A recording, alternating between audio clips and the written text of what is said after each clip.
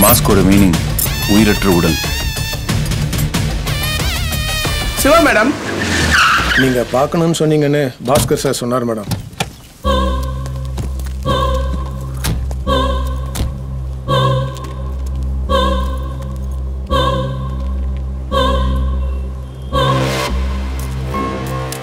உங்ககிட்ட கொஞ்சம் பேசணும்.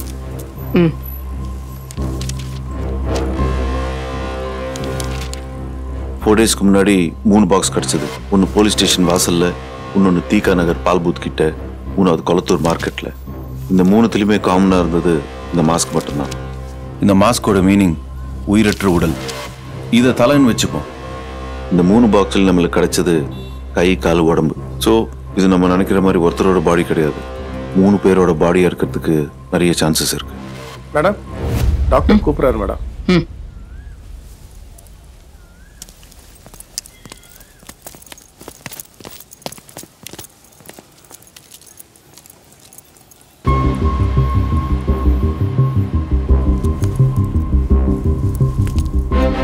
அவசரப்பட்டு கொலை பண்றவன் இவ்வளவு அக்யூரேட்டா கட் பண்றதுக்கு வாய்ப்பே இல்ல.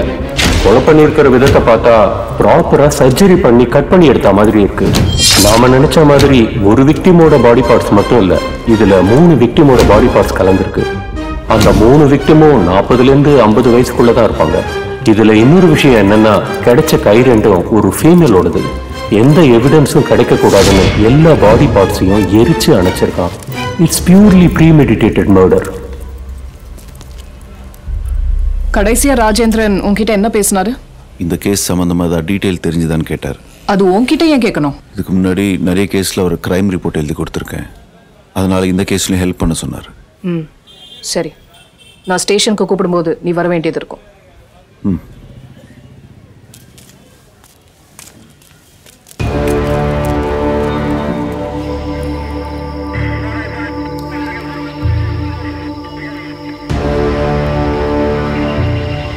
பாஸ்கர் சார் இந்த கேஸ் சம்பந்தமான ஃபுட்டேஜ் ஃபோட்டோஸ்க்கு காப்பி எல்லாம் எதுவும் எடுத்து வைக்கலையா?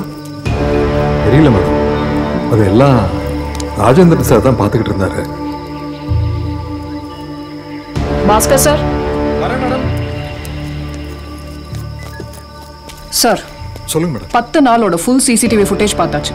பிளான் பண்ண மாதிரி ஒரு மூமெண்ட் இல்லை. அது எப்படி சார்?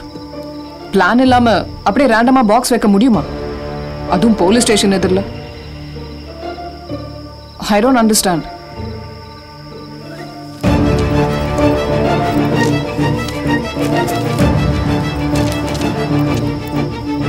உங்களை அப்பாயின்ட் பண்ணது இந்த கேஸை நீங்க சீக்கிரம் முடிப்பீங்கன்னு தானே? வாட்ஸ் கோயிங் ஆன் நான் தான் ஹையர் அஃபீஷியல்ஸ்க்குலாம் பதில் சொல்லணும்.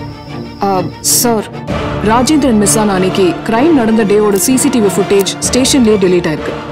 எஃப்ஐஆர் செக் பண்ணும்போது சில ஃபோட்டோஸ் மிஸ் ஆயிருக்கு. வேற காப்பீஸும் இல்லை. ராஜேந்திரனோட ஆக்டிவிட்டீஸை விசாரிச்சதுல சந்தேகப்படுற மாதிரி எந்த விஷயமும் இல்லை. ஒன்று ராஜேந்திரனே எல்லா எவிடன்ஸையும் delete பண்ணியிருக்கணும் இல்லை யாரோ எல்லாத்தையும் delete பண்ணிட்டு ராஜேந்திரனை கடத்திருக்கணும். So something about this case is just not right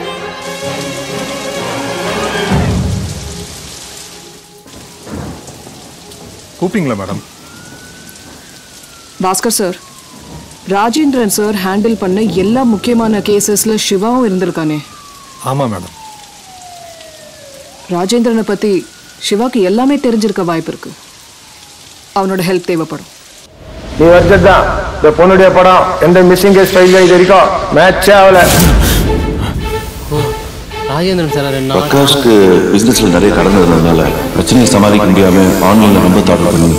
ஃபேமிலியை மர்டர் பண்ணிட்டு அவனும் சூசைட் பண்ணிட்டான். சிவா ஃபேஸ் காம்பன்சேட் பண்ணணும். ஒருவேளை கம்ப்ளைண்ட் ஆகாத கேஸாக இருக்கலாங்க சார். நேத்து பொழச்சையா பொழச்ச இடத்துல என் பொண்ணு பணம் பணத்தை காணன்ற?